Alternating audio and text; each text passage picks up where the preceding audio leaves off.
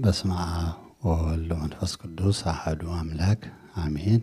የተወደዳችሁ የልዑል እግዚአብሔር ቤተሰቦች፣ የእመቤታችን የቅድስት ድንግል ማርያም ወዳጆች በልዑል እግዚአብሔር ስም እንደምሰነበታችሁ፣ እንደምን ዋላችሁ፣ እንደምን አመሻችሁ።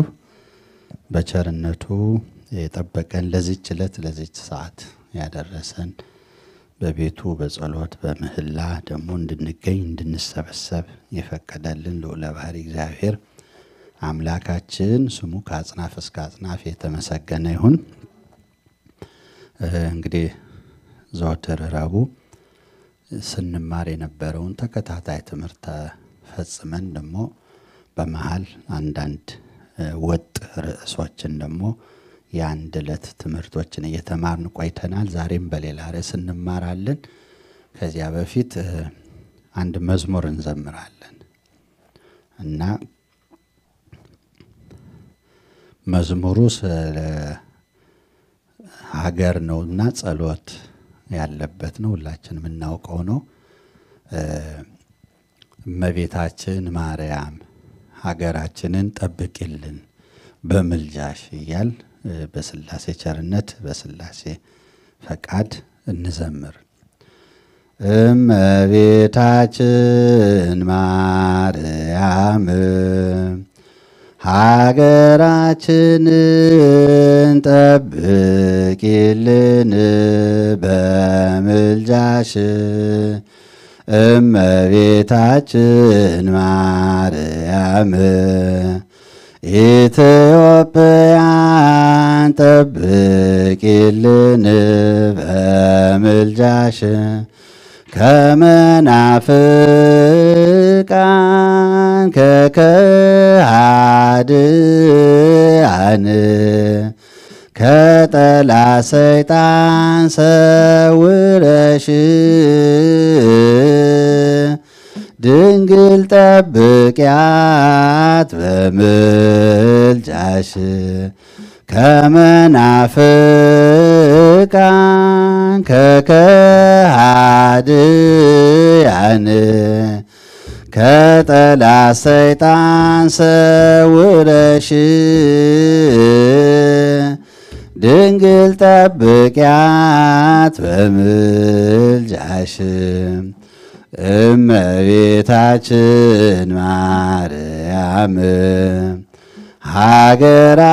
ሀገራችንን ጠብቂልን በምልጃሽ እመቤታችን ማርያም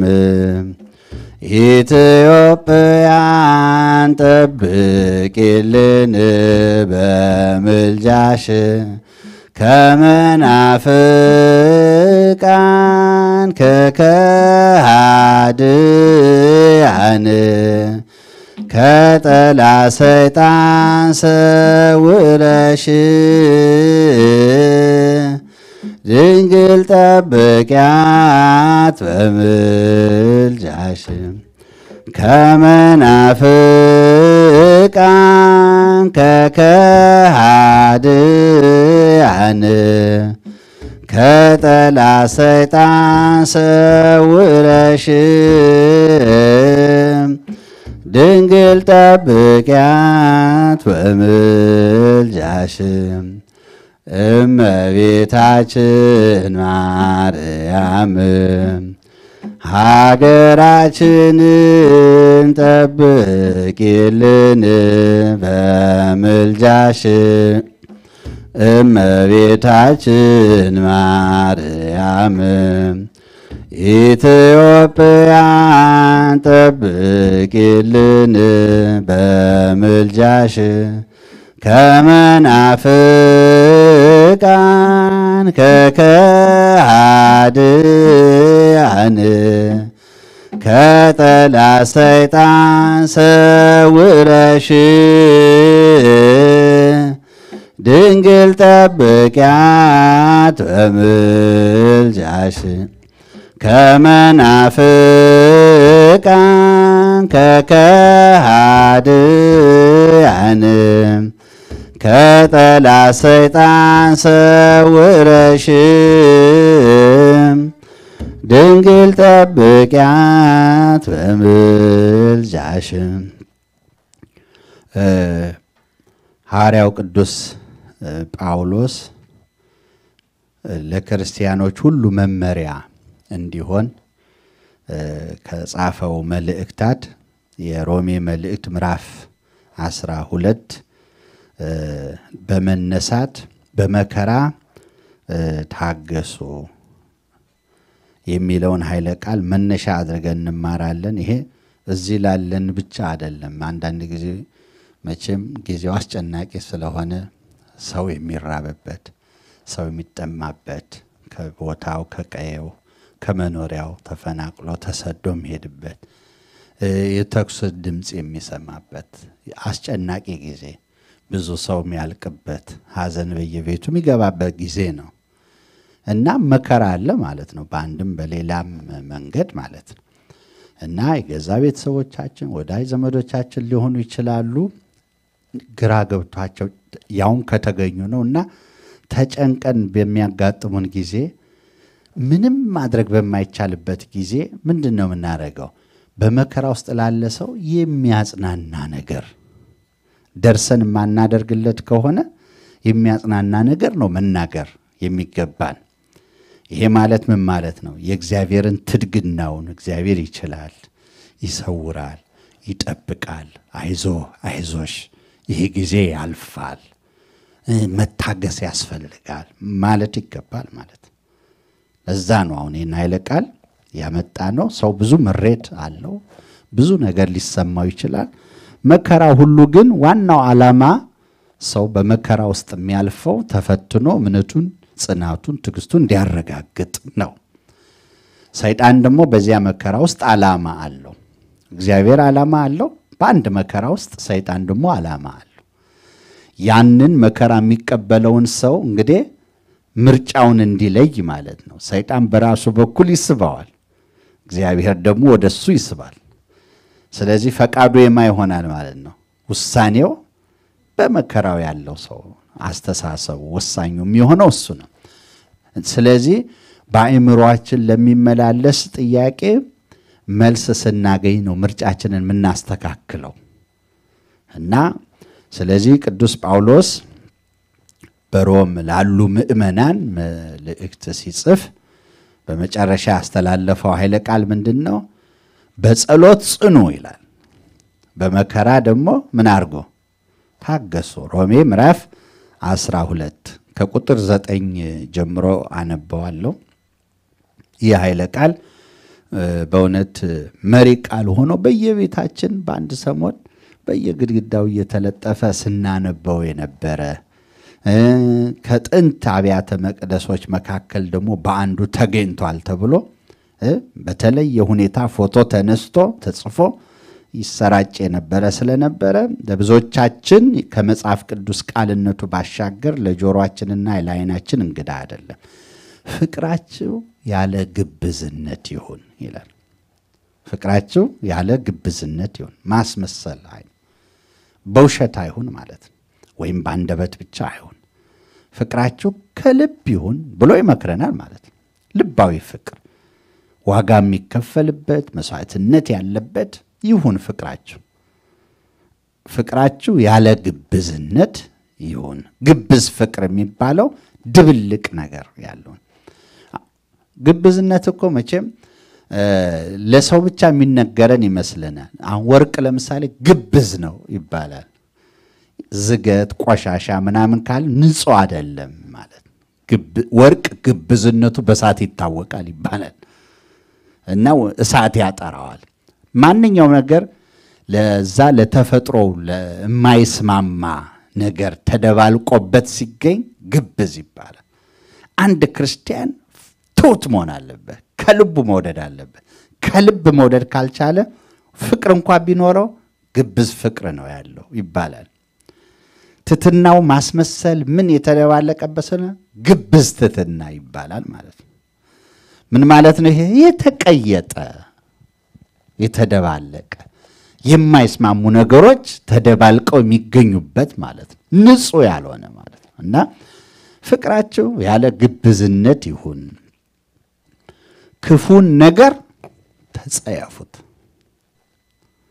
ክፉን ነገር ምን ማድረግ መጸየፍ መጸየፍ እንዴት ነው? ክፉ አታድርጉ ማለትና ክፉ ተጸየፉ ማለት ምን ማለት ነው? ክፉ አታድርጉ አታድርጉ ነው። ተጸየፉ ማለት ግን ክፉን ነገር እንዳይነካቸው እንዳታዩ እንዳትሰሙ ማለት እኮ ነው።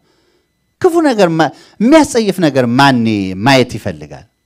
ለአይን እንኳን እንዴት ነው መንገድ ዞሮ ቀይሮ የሚሄደው ሰው እንደው የከረፋ ሽታ ሲሆን ለእይታ የሚያስጸይፍ ነገር ሲሆን መጸየፍ ማለት ካለማድረግም ከፍ ያለና መራቅ ማለት ነው። ለዛ አስተሳሰብ፣ ለዛ አይነት አነጋገር፣ ለዛ አይነት ድርጊት በጣም ሩቅ መሆን ማለት ነው። ጨርሶ በቃ ለመስማትም አለመፈለግ፣ ለማየትም አለመፈለግ፣ ለመንካ እንግዲህ የሚያስጸይፍ ነገር እንዲነካው ይፈልጋል ሰው። እንዴት ነው ተጠንቅቆ ተጣግቶ የሚሄደው? አይደለም እንዳይነካው የተጸየፈውን ነገር ማለት ነው። ክፉን ነገር ተጸየፉ ማለት ይህን ያህል ጥሉት ማለት ነው። ይህን ያህል ሽሹት ማለት ነው። ክፉ አታድርጉ ብቻ ማለት አድርጎ መውሰድ አይገባም ማለት ክፉን ነገር አውጋዥ ነቃፊ መሆን ያስፈልጋል እና ክፉን ነገር ተጸየፉት ይልና ክፉን እንደምትሸሹት እንደምትጸየፉት ደግሞ ክፉን ነገር ተጸየፉት፣ ከበጎ ነገር ጋር ተባበሩ ይላል። መልካም ነገር ደግሞ አይቶ like share አርጉት ማለት ብቻ አይደለም። ትብብር ከዛ ያልፋል። በጎን ነገር ደግሞ ምን አርጉት? ተባበሩ፣ በሀሳብ ደግፉ፣ ሀሳብ ተጋሩ። የእውቀት ጉዳይ ከሆነ የገንዘብ ጉዳይ ከሆነ መልካም ነገር ይህ ይጠቅማል። በአንድም በሌላም መንገድ ትውልድ ይታነጽበታል፣ አገር ይገነባል፣ ለቤተ ክርስቲያን ለሃይማኖት መጽናት መስፋፋት ይረዳል የምትሉትን ነገሮች በሐሜት እኛ ገና ለገና ሳይጀመር በመተቸት በመሳሰለው ነገር አፍራሽ ሚና እንጫወታለን ማለት ነው። ያ ከሚሆን ምን አድርጉ? በጎን ነገር በጎ ጅምርን አይዘልቁበትም እኮ ከማለት ጥሩ ነው። ጥሩ መሆኑን እያወቅን ጥሩ ነገር መተቻ መንገድ ስለምንፈልግ ጥሩ መሆኑን እያወቅ ጥሩ አይደለም ማለት ያሳፍረንና አይዘልቅም እንላለን። ባይዘልቅ ምን አገባን? ለአንድ ቀን ለምን አይሰራም ጥሩ ነገር? መዝለቁ ጥሩ ነው አይደለም? ባይሆን የአንድ ቀን ጥቅም የለውም? የአንድ ቀን መልካም ነገር እንዴ ይጠቅማል እኮ የቅጽበትም መልካም ነገር ይጠቅማል። ስለዚህ መልካም ነገርም በጎን ነገር ሁልጊዜ ምን ማድረግ ያስፈልጋል ማለት ነው? መደገፍ፣ መተባበር እና መደገፍ ያለብንን ማበረታታት ያለብንን ነገር በቤተሰብም ብንወስደው አንዳንድ ጊዜ አይ እንዳይታበይ እንዳትታበይም ሊባል ይችላል። ማመስገን እንዳለብን እየተሰማን ገና እንደ አርቆ ሀሳቢ እንሆናለን። እኛ ተመልከቱ፣ ለማበረታታት በቃ የዛሬውን ነው ደግሞ ትቢት እንዳይሰማት ከማለት ማድነቅ ደግሞ ስህተት ሲኖር የስህተቱ ጊዜ ደግሞ እንመካከራለን፣ እንወቃቀሳለን። የምን ስሌት ነው? ተመልከቱ እና በጊዜው ግብሩ አንድን ነገር ማመስገን ካለብን ማመስገን እና ማበረታታት፣ መደገፍ መደገፍ ማለት ያው በሁሉም መንገድ መሆኑ ግልጽ ነው እና ስለዚህ ከበጎ ነገር ጋር ምን አድርጉ ይለናል? ተባበሩ ተባበሩ እና ከበጎ ነገር ጋር በወንድማማች መዋደድ እርስ በርሳችሁ ተዋደዱ። ወንድሜ ወንድሜ እህቴ እህቴ ተባባሉ። የአንድ አባት የእግዚአብሔር ልጆች መሆናችሁን የአንድ አባት የአዳም ዘር መሆናችሁን አውቃችሁ የሰው ዘሮች ሳትለያዩ ወንድሜ ወንድሜ ተባባሉ። በወንድማማችነት ፍቅር ተዋደዱ ይለናል። በወንድማማች መዋደድ እርስ በርሳችሁ ተዋደዱ። እርስ በርስ ደግሞ ምን አድርጉ? ተከባበሩ ደግሞ መከባበርም ይኑራችሁ ይለናል እና መናናቅ፣ ማዋረድ ሌላውን ሰው የማይገባ ነውና እርስ በርሳችሁ ተከባበሩ። ለስራ ከመትጋት አትለግሙ። በቃ ለነገም አትበሉ። እንዲህ ያላችሁትን ያሰባችሁትን ነገር መንፈሳዊም ስራ ቢሆን መጸለይ ቢሆን መጽሐፍ ማንበብ ቢሆን ንስሐ መግባት ቢሆን አበነፍስ ካህን መያዝ ቢሆን ማነጋገር ቢሆን መቁረብ ቢሆን እያሰባችሁ ብቻ አትቅሩ። ለስራ ትጉ ማለት ይህን ሁሉ ይጨምራል። ለሌላውም ለመማርም ቢሆን ራስን ለማሻሻልም ቢሆን ለመለወጥም ቢሆን ቤት ውስጥም እናስተካክለዋለን ያልናቸው ጉዳዮች ካሉ መቼም ዓመት ሙሉ የምናስበው አንድ ጉዳይ ይኖረናል። ቤት ውስጥ እንዲህ በማድረግ እፈልግ ነበር እያልን መቼም ራሱ ጉዳዩ በምኞታችን አይሰራም። እና ለስራ ከመትጋት ይሄ ሁላችን የሚመለከት ነው። ሁላችንንም ትምህርቱ ለሁላችንም ነው የሚናገረውን እኔን ጨምሮ ማለት ነው። ስለዚህ ለስራ ከመትጋት አትለግሙም፣ በመንፈስ የምትቃጠሉ ሁኑ። መንፈሳዊ ቅናት ያላችሁና ሙቀት ያላችሁ የሚቃጠል ነገር ሙቀት አለው የለውም? አለው። ያ ደግሞ ሙቀት ማለት ያፍታታል። አሁን በቆፈን በብርድ ውስጥ ምን ይሰራል? እጃችን በጣም ከበረደን ይጨብዳል፣ ይይዛል። ሰው የሚፍታታው በሙቀት አይደለም እና በመንፈስ ቅዱስም እንዲህ ቁረት ያለው ማለት የቀዘቀዘ ቅናት የሌለው ተነሳሽነት የሌለው ሰው አለ በመንፈስ መንፈሳዊ ነገርን የሚፈልግ እንኳን ቢሆን ግን በንቃትና በትጋት የማይሰራ ማለት ነው። ተመልከቱ። በተሰላቸ ልብና መንፈስ ሳይሆን በመንፈስ መቃጠል ማለት በመንፈሳዊ ቅናት፣ በመነሳሳት፣ በትጋት ስራን መስራት ማለት ነው። እና ስለዚህ በመንፈስ የምትቃጠሉ ሁኑ፣ ተናደዱ፣ በመንፈስ ቅዱስ ተቀጣጠሉ ማለት እኮ ነው። እና በመንፈስ የምትቃጠሉ ሁኑ። በመንፈስ ቅዱስ የምትመሩ በመንፈስ ቅዱስ የምትሰሩ ተግታችሁ ነቅታችሁ የምትሰሩ ለጌታ ተገዙ፣ ለእግዚአብሔር ለፈጣሪ ተቀነዩ ይላል። ተገዙ፣ ለጌታ ተገዙ ይላል። መገዛት ለእግዚአብሔር በሁሉም የሚጾም ነው እኮ የሚገዛው ለእግዚአብሔር አይደለም። መጸለይ እኮ መገዛት ነው። መጾም መገዛት ነው አይደለም። አስራት በኩራት ማውጣት ምንድን ነው? መገዛት ነው እኮ ለእግዚአብሔር መገዛት ነው። በሕግና በስርዓት ውስጥ መተዳደር ማለት ነው በመንፈሳዊ ዓለም። ስለዚህ ይህን መጾም የፈቃድ ግብር ነው።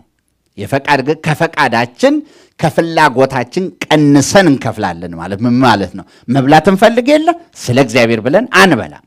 ስጋችንን እንገዛዋለን፣ ለእግዚአብሔር እንገዛለን ማለት ነው። ለእግዚአብሔር ተገዙ ማለት ጾምን ይጨምራል፣ ጸሎትን ይጨምራል፣ አስራት በኩራት ማውጣትን ይጨምራል። ለእግዚአብሔር መገዛት ማለት እና ለእግዚአብሔር ተገዙ እና አንዳንድ ሰዎች የማይጾሙ የማይጸልዩ ሆነው ጌታ ሆይ ጌታ ሆይ የሚያበዙ አሉ። ጌታ እኮ ጌታ ከተባለ ለጌታ ይገብሩለታል አይደል? ይገዙለታል። ሳይጾሙ ጌታ ሆይ አይደለም። ለዚያ ነው እኮ ጌታ ሆይ ጌታ ሆይ ይሉኛል ከቶ አላውቃችሁም እላቸዋለሁ የሚለው እኮ ቃል እንዲሁ የሚመጣ አይደለም። ለመናፍቃን ብቻ የሚጠቀስ አይደለም። እኛን ራሳችንን ይመለከተናል። ሳይገዙ ለእግዚአብሔር ተመልከቱ። ጌታ ሆይ ጌታ ሆይ ማለት የለም። ይሄ ምን ማለት ነው? የአፍ ብቻ ይሆናል። የአፍ ዘመድ በገበያም አይገድ ይባላል። የአፍ ብቻ ዘመድ እና ስለዚህ በአፍ ብቻ ሳይሆን ከልብ ለእግዚአብሔር ምን ማድረግ ያስፈልጋል? መገዛት ያስፈልጋል። እና ስለዚህ በመንፈስ የምትቃጠሉ ሁኑ፣ ለጌታ ተገዙ፣ በተስፋ ደስ ይበላችሁ። በምን ደስ ይበላችሁ? በተስፋ ተስፋ ያስደስታል። አዎ ያስደስታል። በስቃይ ውስጥ እንኳን ሆነን በመከራ ውስጥ ሆነን በጭንቅ ውስጥ ሆነን እንኳ በሚያሳዝን ሁኔታ ውስጥ ሆነን እንኳ በተስፋ ግን መደሰት ይቻላል። ለምን? ይህ አሳዛኙ ሁኔታ ምንድን ነው? አላፊ ነው በማለት ግን በጣም የሚገርማችሁ ተስፋ ያለ እምነት አይሆንም። ተስፋ ያለ እምነት አይሆንም። የተስፋ መሰረቱ እምነት ነው። ይሄ ነገር ያልፋል፣ አዎ ማለፉ አይቀርም ብሎ እርግጠኛ መሆን ያስፈልጋል። ይለወጣል ብሎ ይህም ማመን እኮ ሲቻል ነው የሚመጣው። ተስፋ የተጨበጠ የሚሆነው በእምነት ነው። ተስፋ የሚረጋገጠው በእምነት ነው። መጽሐፍ ቅዱስ ይህን ይነግረን የለ ይመጣ ዘንድ ያለውን ነገር ያልታየውና የማይታወቀውን ነገር እንዳለ አድርገን እርግጠኛ የምንሆንበት ነገር እምነት ነው ይለናል መጽሐፍ። ስለዚህ ተስፋ ማረጋገጫው እምነት ነው። የሚያምን ሰው ነው በተስፋ መደሰት የሚችለው። ስለዚህ ልቡናችንን ምን ይሙላው? እምነት ይሙላው። በእምነት ተስፋ እናድርግ። እግዚአብሔር ሁኔታ ሰው አይችል ይሆናል። ስሌቶቻችን በጣም የተዘበራረቁ ሊሆን ይችላሉ። በሀሳብ ብዙ ልዩነቶች ሊኖሩ ይችላሉ። መግባባት ማንችል ልንሆን እንችላለን።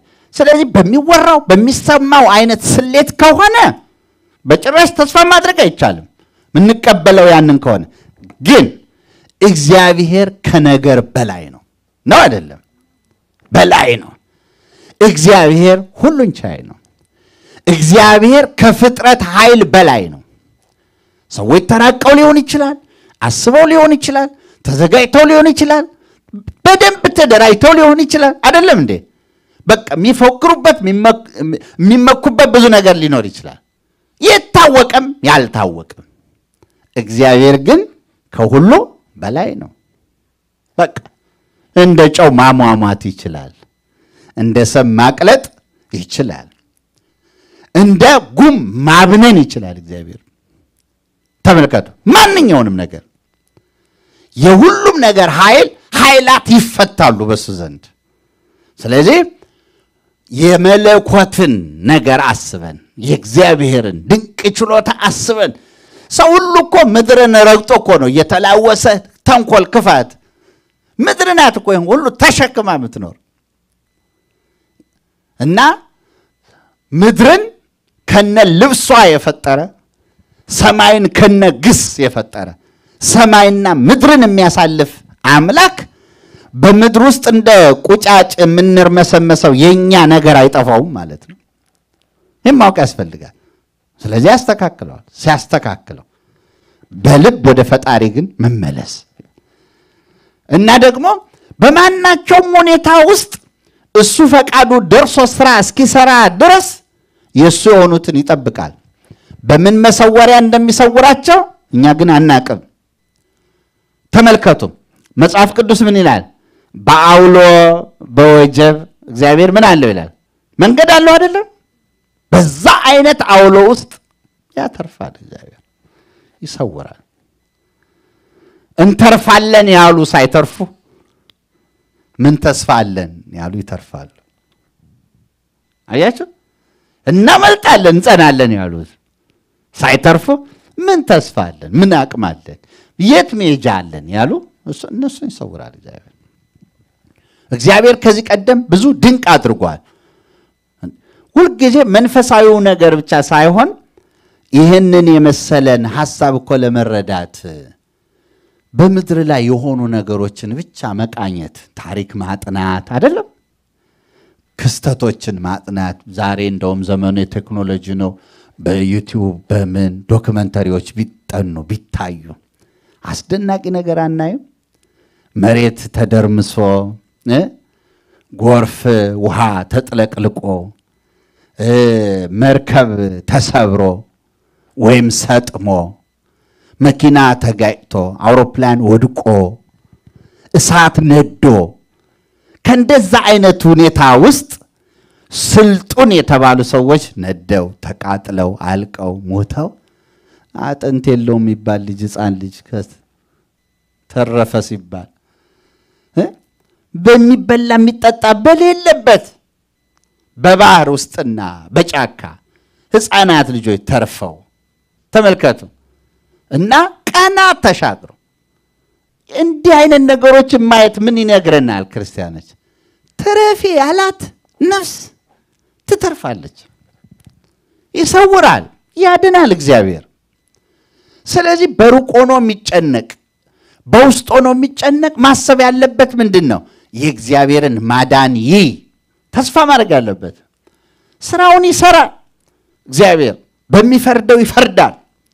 የሚቀጣውን ይቀጣል። የሚያጠራውን ያጠራል። የሚገስጸውን ይገስጻል።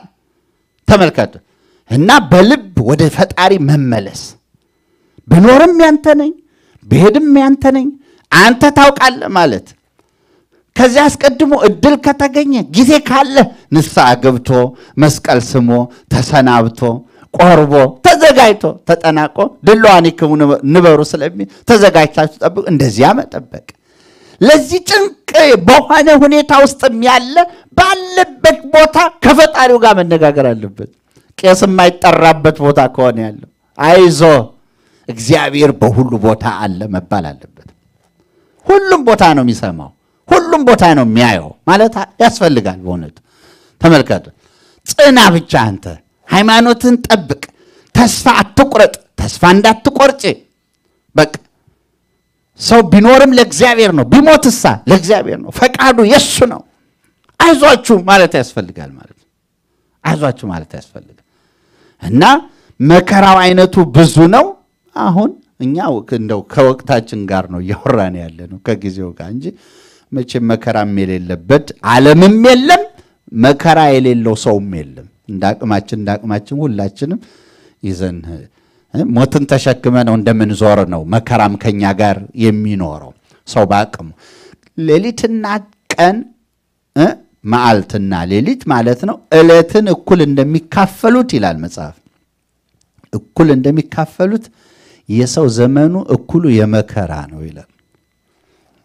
ያለ መከራ አይኖርም።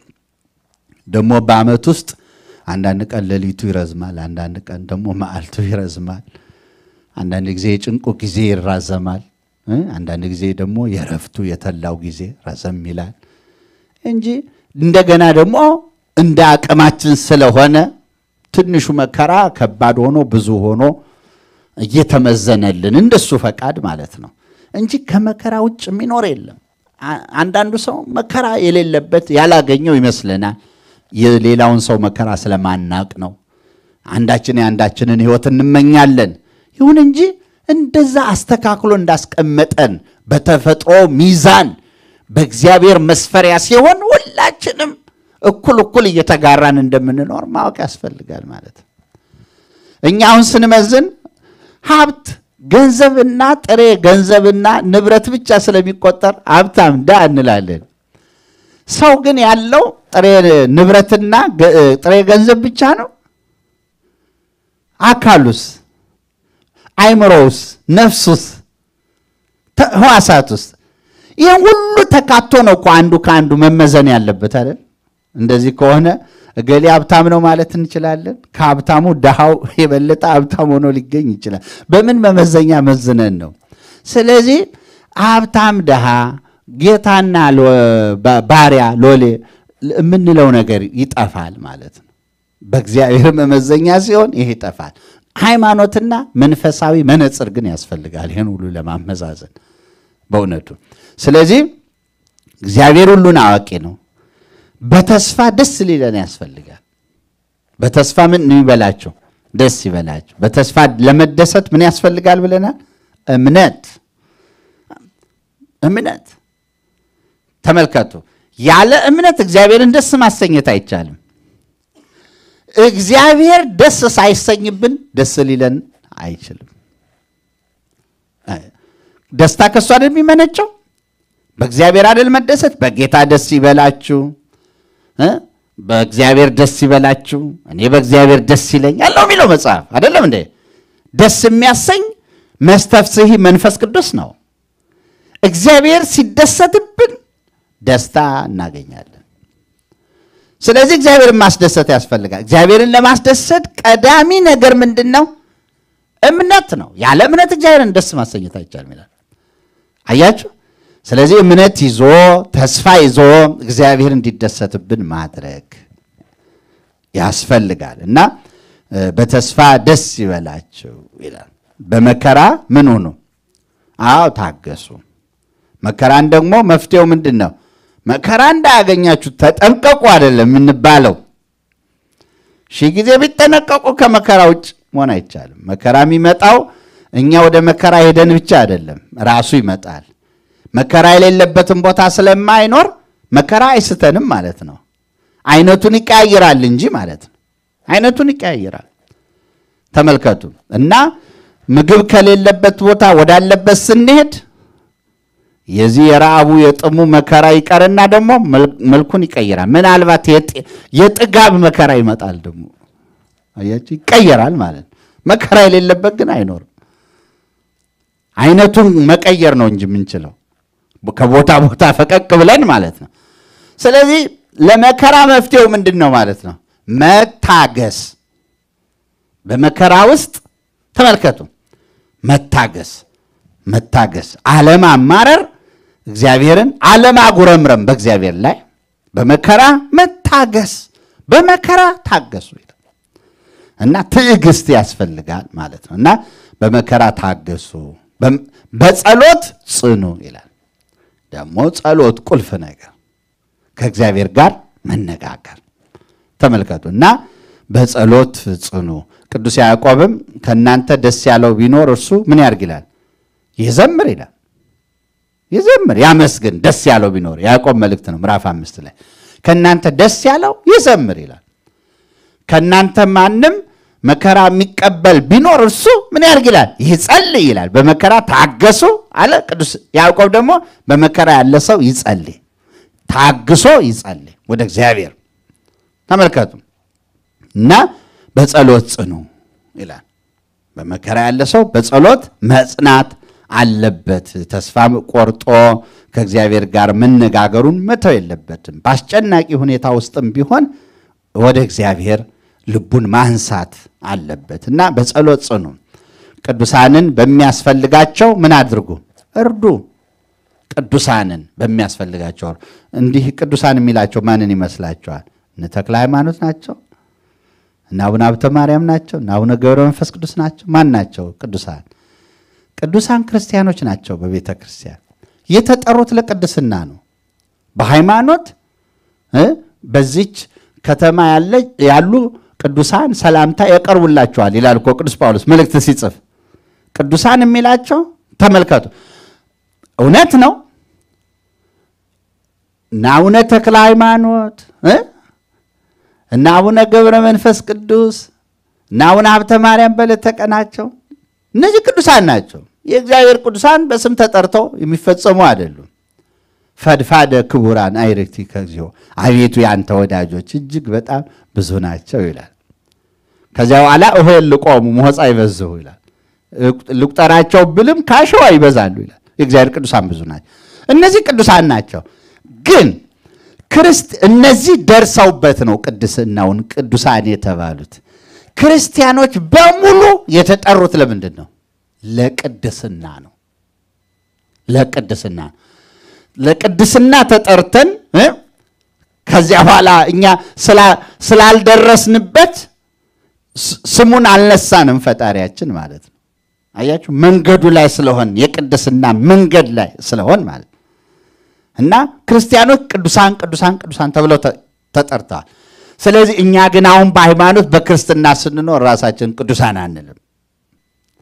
አነጋገር አውቀናላ። የትትናው አነጋገር ምንድን ነው? የተማረ ሰው ሃይማኖትን ያወቀ ሰው ትቢትና ትትና በአነጋገር ውስጥም በቃላት አጠቃቀም ውስጥም በሁሉም ነገር ውስጥ አለ። አባቶቻችን ይህን ስራ ስለሰሩ ለቅድስና እንደተጠራን እናውቃለን። ክርስቲያኖችም ቅዱሳን እንደተባሉም እናውቃለን። ነገር ግን ራስን ቅዱስ ማለት የሚገባ አይደለምና አያችሁ። ስለዚህ እኛ ራሳችን ቅዱሳን አንልም። ይልቅ የደረሱበትን ገላቸውን የፈጸሙትን ከፍ ያሉትን ቅዱሳኑን ቅዱሳን ብለን ተመልከቱ፣ እነሱን ስናከብር እንኖራለን ማለት አያችሁ ቅድስናቸውን እየተመኘንና ወደ እነሱ ለመቅረብ እየተጋን አርሃያ እያደረግን አብነት እያደረግን እነሱን እየተከተልን እንኖራለን። ራሳችን ቅዱሳን አንልም። አንድ ምሳሌ እናንሳ። ቤተ ክርስቲያናችን በአነጋገር እንኳን እንዴት እያረመች እንደምታስተምር ማለት ነው። በሐዋርያት ሥራ መግቢያ ላይ መንፈስ ቅዱስ ለሐዋርያት ወርዶላቸው ከዚያ በኋላ በአንድ ዕለት ትምህርት በሺዎች ቢቆጠሩ ሰዎች በቅዱስ ጴጥሮስ ትምህርት መሪ ሆኖ አፈጉባኤ ሆኖ የተናገረው እሱ ስለነበረ በአንድ ቀን ተመለሱ እና ሐዋርያትን ምን አሏቸው? በተናገሯቸው ቃል ልባቸው ተነካ ይላል። በሺው የሚቆጠር ሕዝብ በዓል ለማክበር ሄደው ስለነበረ ብዙ ሰዎች ነበሩ። ከዚያ በኋላ ወንድሞቻችን ምን እናድርግ አሏቸው ይላል። ቅዱስ ጴጥሮስ ምን አለ? በኢየሱስ ክርስቶስ ስም ተጠመቁ፣ ንስሐ ገብታችሁ ተጠመቁ፣ እመኑ አላቸው። ትርጓሜያችን ምን እንደሚል ታውቃላችሁ? ወንድሞቻችን ምን እናድርግ አሉ? ባያውቁ ነው ይላል። ባያውቁ ነው። ሐዋርያት ወንድሞቻችን የሚባሉ አይደሉም። ሐዋርያት መምህራን ናቸው፣ በክርስቶስ የተሾሙ አባቶች ናቸው። ስለዚህ እነሱን ምን ማለት ነበረባቸው? መምህራኖቻችን፣ ሊቃውንቶቻችን፣ ጌቶቻችን፣ አባቶቻችን ምን እናርግ ሊሏቸው ይገባ ነበር። ሐዋርያት ራሳቸውን ዝቅ ቢያደርጉ፣ አባቶች ራሳቸውን ዝቅ ቢያደርጉ ምንም አይደል፣ ትትና ነው ይወሰድላቸዋል። እነዚህ ግን ምመን ሆነው ለዚህ አይነት ክብር ያበቋቸውንና ያስተማሯቸውን ሰዎች ወንድሞቻችን ማለታቸው ትምህርት ገና ስላልገፉበት ነው፣ አዲስ መጪዎች ስለሆኑ ነው ይላል። አያችሁ። አሁን ሌላ ደግሞ ስርዓት እናምጣ በቤተ ክርስቲያን የትትና አነጋገር ክርስቲያኖች በጣም ማወቅ አለብን። በጣም አንድ አእምሯችን በመንፈሳዊ ትምህርት እየሰላ ሲመጣ ነው በንግግሮቻችን ላይ ያለ ትቢትና ትትና ግልጽ የሚሆነው። አሁን ሌላ ምሳሌ ላመጣላችሁ ነው። ኑዛዜ ሲሰጥ ኑዛዜ ሰጥቶ ቡራኬ ሰጥቶ እግዚአብሔር ይፍታችሁ የሚለን ዲያቆን ነው ወይስ ካህን ነው? ካህን ነው አይደለም? ክህነት ያለው ኑዛዜ ሲሰጥ አበዌ ካህናት ይላል። አባቶቼ ካህናት ወአሃዌ ዲያቆናት፣ ወንድሞቼ ምን ዲያቆናት። ኑዛዜ እየሰጠ ነው። ካህን መሆኑ የታወቀ ነው ማለት ነው አይደለም? አባቶቹን ወንድሞቼ አይላቸውም። ካህናቱን ራሱን ዝቅ ያደርጋል ከአባቶቹ እና አባቶቼ ይላል ሌሎች ካህናትን። ዲያቆን አይደለም ካህን ነው። ሌላውን ብቅ አድርጎ ራሱን ደግሞ ዝቅ አድርጎ ራሱን ከዲያቆናት ጋር ነው የሚቆጥረው ካህኑ። አባቶቼ ካህናት ካለ በኋላ ወንድሞቼ ዲያቆናት ከዚህ የተሰበሰባችሁ ይላል። አያችሁ ንግግር ቄሱን ግድ ስታስተምረው ቤተ ክርስቲያን ትትናውን ቄስ ሆኖ ራሱን እንደ ዲያቆን ነው እንጂ መቁጠር ያለበት እንደ ቄስ አይደለም። አያችሁ። እሺ ወደ ምዕመናን እንምጣ። እንደውም የሚተች ኃይለ ቃል ስለሆነ ለትምህርት ይጠቅመናል ለማብራራት። ቅዳሴ ለማስቀደስ ስንመጣ ምንድን ነው የምንል? ቅዳሴ አስቀድሳለሁ አይደል? ላስቀድስ ይሄዳለሁ እንላለን። ተጽፎም ማንበባችሁ ሊሆን ይችላል ተተችቶ። ግን ምዕመናን ላስቀድስ ይሄዳለሁ ማለታቸው ትክክል አይደለም የሚሉ ሰዎች ገጥመውን ያውቃሉ። ለምን ቤተ ክርስቲያን ከመጡ ይበል ሕዝብ የሚል አለ። ቅዳሴው ላይ ተሳታፊ ናቸው። ይበል ዲያቆን የሚል አለ። ዲያቆኑም ተሳታፊ ነው፣ ሰራተኛ ነው። ያለ ምዕመናንም ቅዳሴ የለም። ይበል ካህን የሚል አለ። አይደለም እንዴ? ለንፍቁም ይበል ንፍቅ ብሎ ለዲያቆኑም ለካህኑም ረዳት አለውና ይህን ይላል። ምዕመናን ላስቀድስ ይሄዳለሁ ነው የሚሉት። ቀዳሽ ነን አይሉም። አያችሁ፣ ትትናውን አያችሁ። የተሰራ ስርዓት ነው እንድንጠብቀው ነው። አሁን ግን እኮ ቅዳሴ የሚቀድሱ ሳይሆኑ ቀርተው እኮ አይደለም። እሱን እየካድ ነው አይደለም። ክርስቲያኖች የቅዳሴው የቀዳሽ ክፍል ናቸው። አንዱ ክፍል ቅዳሴ ሲከናወን ከቀዳሾቹ አንዱ ክፍል ምዕመናን ናቸው። አይቀድሱም ማለት አይደለም። ግን ልቀድስ ይሄዳለሁ ግን አይሉ ምዕመናን ምን ይላሉ? ላስቀድስ። ራሳቸውን አንድ ደረጃ ራቁት። አይደለም እንዴ? አያችሁ የትትና ንግግር? የሚቀድሰው ካህን ራሱ በጣም የሚያስደንቃችሁ ነገር እንደው የቤተ ክርስቲያንን ነገር አነጋገሩን ወዙን ከነትትናው ከነ ምስጢሩ ያለያዘ የኔ ቢጤ እንግዲህ መቼም አለ አይደለም? አባት በሬ አለ ጥጃም አለ ይባላል። እና እንደው ገና ጀማሪ አይነት ካልሆነ በስተቀር ስርዓቱ የገባው ሰው ቅዳሴ የሚገባ ካህን ራሱ ቅዳሴ ቀድሳለሁ አይልም። አነጋገሩ ምንድን ነው? ቅዳሴ አለብኝ ይላል። አለብኝ ምንድን ነው? ግድ ነው። አያችሁ፣ ተመልከቱ። ቅዳሴ ምን አለብኝ? ቅዳሴ እገባለሁ ይላል። ቅዳሴ አለብኝ በሚል ይገልጸዋል ማለት ነው። ይሄ ማለት ምን ማለት ነው? ታዝዣለሁ ነው። ግድ ሲሉትማ የማያደርጋለ እንዴ? አይደለም እንዴ? አዎ ራሱን ለዚያ እንደሚገባ አድርጎ አይገልጸውም ማለት አነጋገር። ይሄ በጣም ትህትን አነጋገር ውስጥ ያለ ትህትና ነው። እንዴት እንደሚመዘን እንድታውቁት እና ተሰርቷል በቤተ ክርስቲያናችን እያንዳንዷ ነጥብ ላይ ከዛ አሁን ለምሳሌ እኛ የተለመዱ ነገሮች ያንዱን ለአንዱን መውሰድ በጣም ለሚካኤል የተዘመረውን ለገብርኤል አይደለም ለመላእክት ሁሉ እናደርገዋለን። በቃ ስም እያቀያየረን ብቻ እና እንዲህ የማድረግ አባዜ አለብን። በበጎም ሊታይ የሚችልበት ሁኔታ ሊኖር ይችላል። የሆነ ሆኖ ደግሞ ስህተትም ያመጣል አንዳንድ ጊዜ ለምን ለየመላእክቱ ክብራቸውም ማዕረጋቸውም አሰራራቸውም ጸጋቸውም ደግሞ የተለያየ ሲሆን ለቅዱሳኑም ቢሆን እንደዚያ ለአንዱ የአንዱ ለአንዱ ሊሆን የሚችልበት ላይሆን የሚችልበትም አለ። እንደዛ ሆኖ አሁን ለምሳሌ በአነጋገር አባቶቼ ካህናት፣ ወንድሞቼ ዲያቆናት የሚለውን አንድ ሰው ናስቲ መርሃ ግብር ምራ ብንለውና ምመን ቢሆን መጥቶ አባቶቼ ካህናት፣ ወንድሞቼ ዲያቆናት ቢል ልክ ይሆናል? አያችሁ ሚስጥሩን። አባቶቼ ካህናት፣ እሺ እውነት ነው አባቶች ናቸው አይደል? ወንድሞቼ ዲያቆናት የሚለውስ ዲያቆን ነው ሆኗል፣ ምመን ነው ብለናል አይደለም እንዴ? ስለዚህ ትንሽ የአነጋገሩን በተቀመጠው መልኩ ከያዝን ይህንን የሚል ቄሱ ነው ሳለ ማለት ነው። ምእመኑ ሲለው ደግሞ ሌላ ትህትና የትህትና ቃል አስቦ አስተውሎ ምን ማለት አለብኝ ብሎ መርጦ ተራቆ ቢያቀርብ እውቀቱን መንፈሳዊ ዝንባሌውን ያሳያል ማለት ነው። copy paste የሚያመጣው ችግር ነው።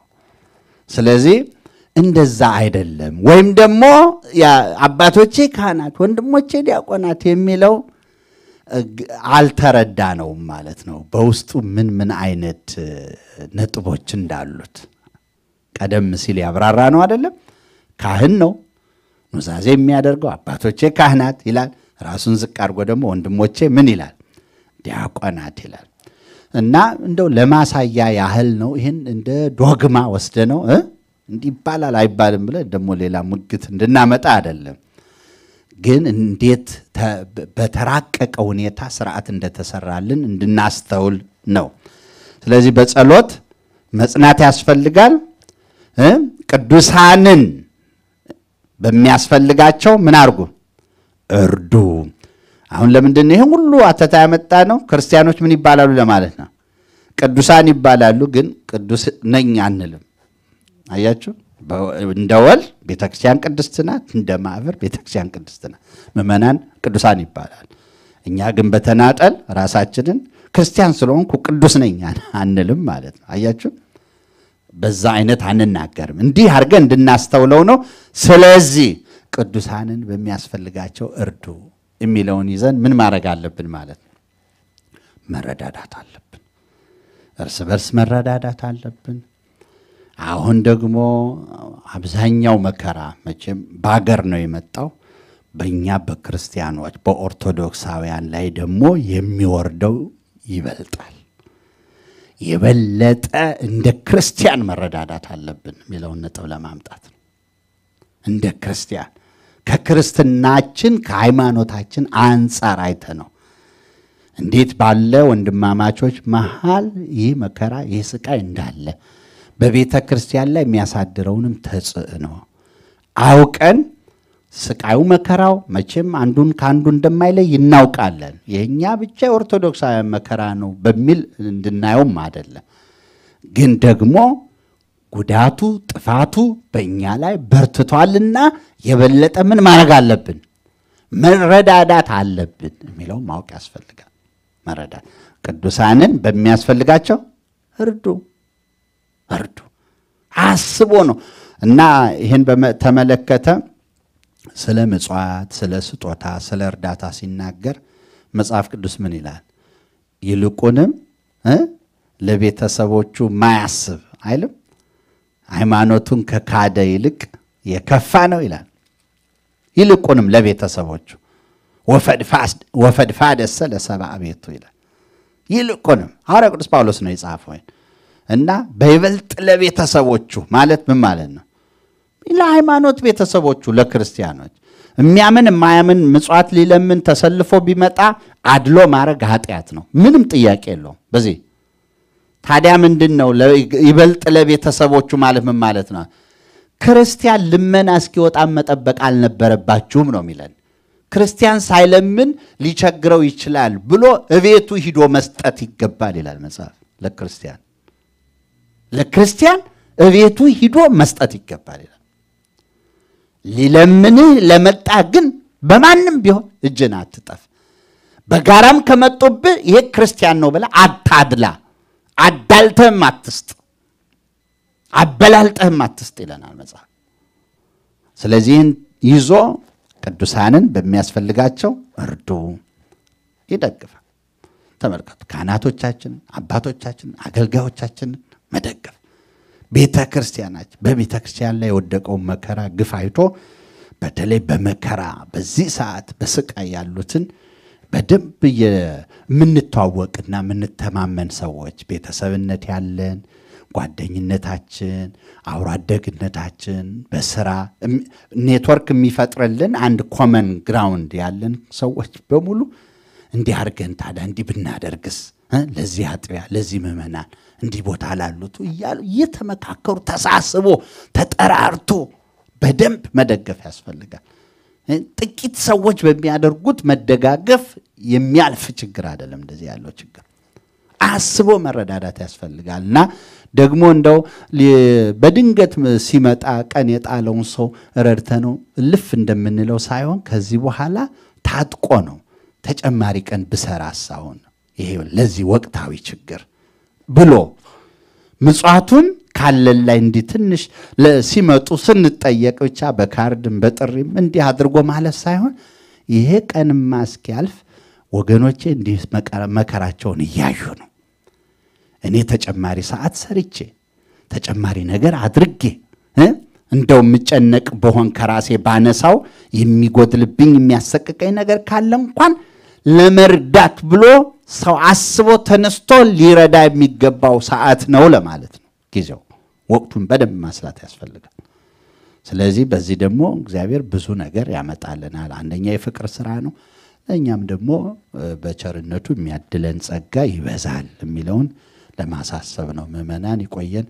የሰማነውን በልቦናችን ጽላሽ ጻፍልን። የእግዚአብሔር ቸርነት የድንግል ማርያም አማላጅነት አይለየን። ሀገራችን ሰላም ያድርግልን። የሰማነውን በልቡናችን ያሳድርብን።